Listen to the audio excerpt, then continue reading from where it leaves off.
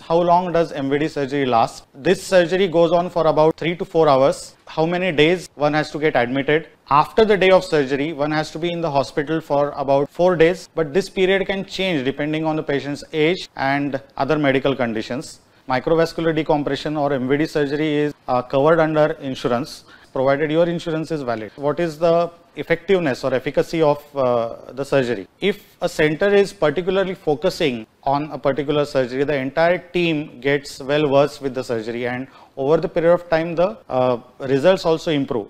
The risks involved in the surgery about 0.5 to 1 percent.